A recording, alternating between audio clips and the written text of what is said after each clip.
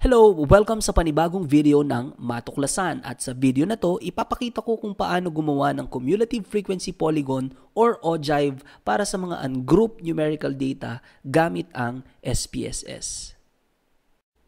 At dahil numerical data ang ginagamit natin sa paggawa ng ogive, ang gagamitin kong data set ay yung mga math pre-test scores at math post-test scores ng 100 student respondents.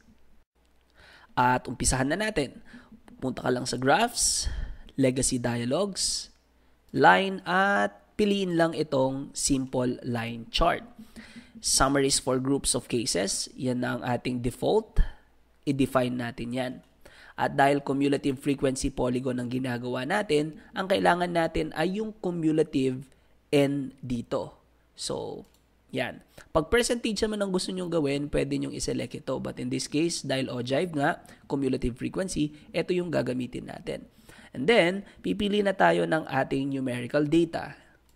Kung yung math pretest score, kailangan ko lang siyang ilagay sa category axis. Pwede nyong i-edit yung mga title ng axis at saka ng buong graph. Pero in this case, hindi ko na muna i-edit. Siselect natin yung OK. At ito ngayon yung ating output para sa ating ogive. Dito sa ating output, sa y-axis, makikita ang cumulative frequency at dito naman sa x-axis, yung math pretest scores ng mga students.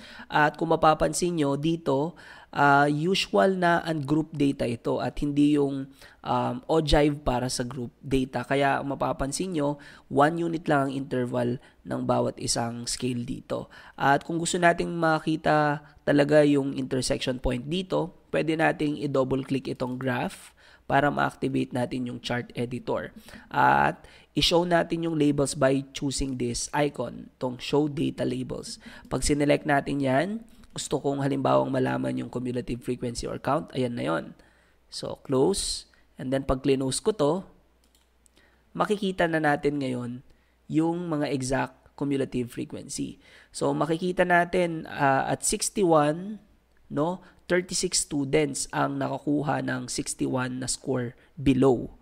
Okay? Ilan naman ang nakakuha ng 57 and below? Nasa 6 students. So, ganyan binabasa ang ating ogive. But what if gusto kong i-compare yung cumulative frequency polygon by gender? So, pwedeng pumunta ka ulit sa graphs, legacy dialogues, punta ulit sa line, Then dito, isa-select natin yung multiple kasi magko-compare tayo ng frequency polygon in one graph. Summaries for groups of cases, ganun pa din and then i-define natin yan. So kung halimbawa ang gusto kong i-compare yung ogive ng pretest scores by gender, isa-select ko lang yung gender at ilalagay ko siya dito sa define lines by. So pag sinelect natin yan, ito lilitaw. At syempre, wag natin kalimutan ilagay dito sa cumulative na frequency. Ayan, pag na-select nyo na yung mga yan, select natin yung okay at ibibigay sa atin yung output para sa ating comparison.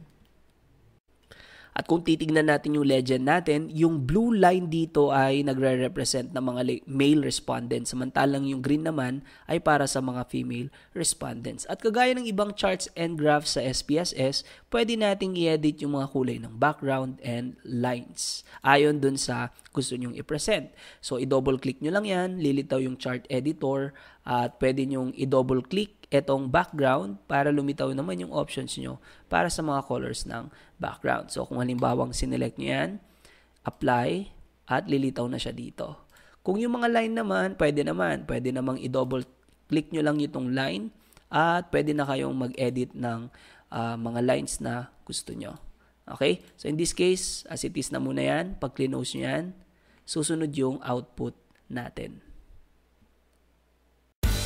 And that's all for this video. Kung gusto niyo pa ng ibang video tutorial sa SPSS, make sure to subscribe and hit that notification bell for your updates. See you in the next video!